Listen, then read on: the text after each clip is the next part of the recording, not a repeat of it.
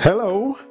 Purpose of this is to highlight your GI tract. Contrast is a medication that helps highlight the images in your CT scan. A CT scan of your head, your chest, your abdomen or pelvis when we're looking for cancer or infections it's recommended that we give contrast. With the contrast, cancer or infection would pop out and highlight, whereas without the contrast, we may not see it or not see it nearly as well.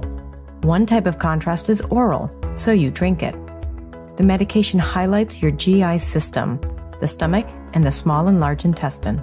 The smoothie, I guess is what they call it, uh, you have to drink a couple of bottles of this starting two hours before your exam time. Visualize your upper. You can refrigerate it. Some people say it helps it to go down a little bit better if it's refrigerated. For other exams, you might get a quicker absorbing drink. We mix up this contrast. We have them come in. We have them to sit in our suite.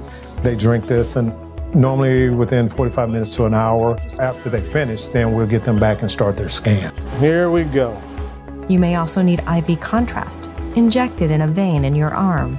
That would happen just immediately right before the scan, where they would put a, an IV in and test it out and make sure that it was working well. And then when you're in the scanner, they would actually inject that part of the medicine. I'm going to take two pictures at first. Often, when we're looking at the bowels or the gastrointestinal tract, it will be helpful to give both medicine orally as well as in the vein both of those, those things together enable us to see the most disease processes and have the most accurate diagnosis. Patients sometimes ask, is contrast safe? Okay. Dr. Leifer says the possibility you'll have an allergic reaction is slim.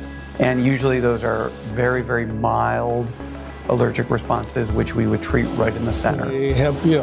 The oral contrast is a time tested over many decades, safe inactive ingredient. I'm going to give you this thank you card. That allows us to see exquisitely inside your bowels when we pass the x rays over you.